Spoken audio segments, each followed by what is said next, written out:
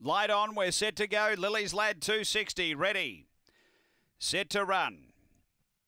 They're ready.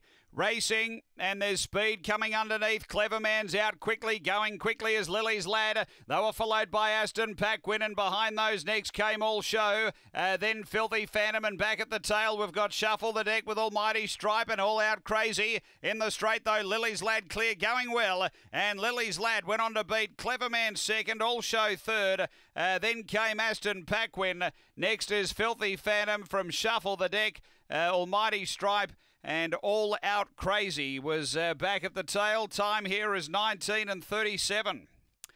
After the running of race number five and Lily's Lad number four uh, for Jade Hurley, able to drive through, uh, grab the front, and he's been too good. Uh, three clever man second for Artie Veroff, and third to seven, uh, which is all show for Don Turner. It's four, three, seven, eight, fourth after race number five here at Angle Park.